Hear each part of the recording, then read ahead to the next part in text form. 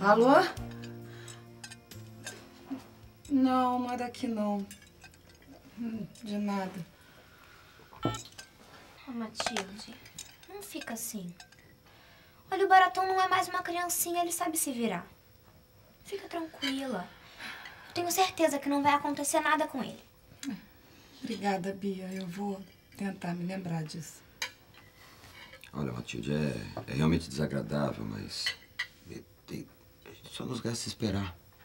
Tem muita gente procurando pelo André e também ele saiu da cidade de livre e espontânea vontade. Ele vai pôr a cabeça no lugar, vai se acalmar e vai voltar. Não é como se ele tivesse desaparecido sem explicação, você entende? Eu sei, Augusto, mas é que. Ai, meu coração tá desse tamaninho, sabe?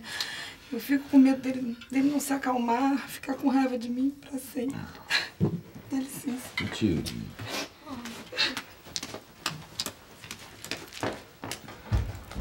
Filha, fica um pouquinho com ela, fica.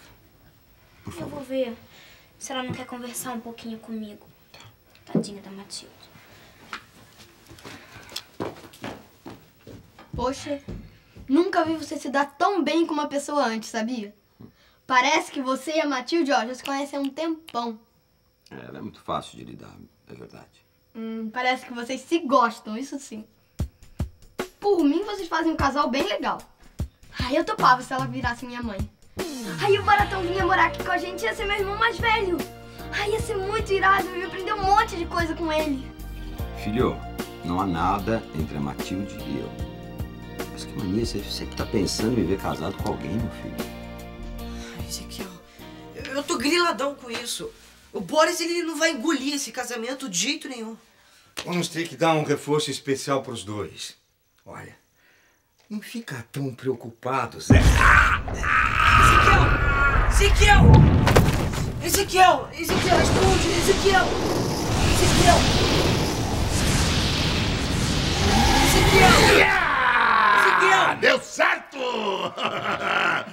A ferida que tu fizeste com a espada nas costas de Ezequiel abriu de novo.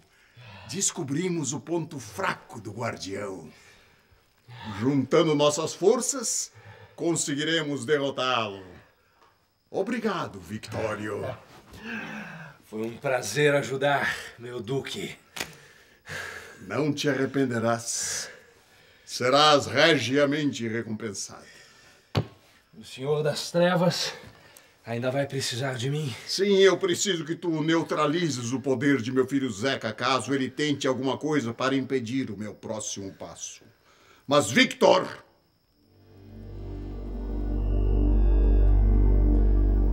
ai de ti, se machucares o meu Zeca. Eu ouço e obedeço, mestre.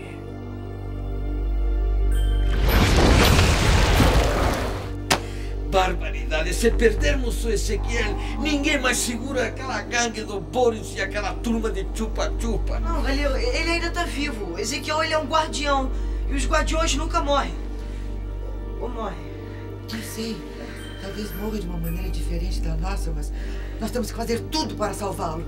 Não sei, não, Soinha, não sei. Eu, eu tenho a impressão que nós vamos perder o Ezequiel e Ezequiel vai voltar para o céu. Não, Galileu, isso não pode acontecer de jeito nenhum. O Ezequiel, ele é a nossa arma mais poderosa para vencer a luta contra o mal. Eu vou até o laboratório. Vou fazer uma poção bem forte. Enquanto há vida, há esperança. É assim que se fala, vó. Será que a mágica da minha avó vai ajudar a salvar Ezequiel, Galileu? Eu não sei, Zeca, eu não sei. Nós temos que tentar tudo, tudo que for possível. E também rezar para que o desgraçado do Boris não aproveite esta situação para aprontar mais uma das dele.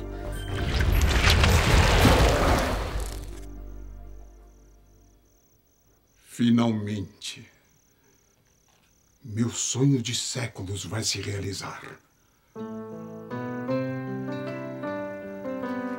Não há mais por que adiar este momento glorioso.